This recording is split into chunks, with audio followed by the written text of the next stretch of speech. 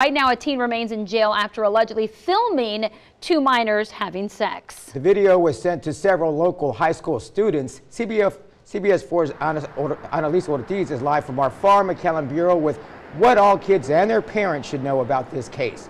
Annalise. Marcy and Eddie, I talked to the police chief for Edinburg CISD. That's the agency that helped McAllen police make an arrest. Now, the police chief tells us that if your child is sending or receiving nude images, they could find themselves in the middle of an investigation like this one. Now, this investigation started back in January, but an arrest was not made until just last week.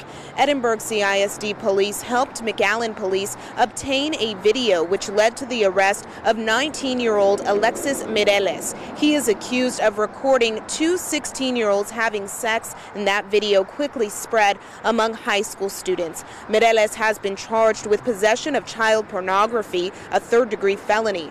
Chief Ricardo Perez of Edinburg CISD Police says depending on the circumstance, anyone who shares a nude image of a minor could face similar charges. That's why he's warning all students to think twice before they hit send report it right away. Uh, if you're in school, report it to your teacher or your principal uh, or a police officer or a uh, person that's uh, of authority there at the school district uh, that you've received or you're aware of a, a pornographic or a graphic type of video or photograph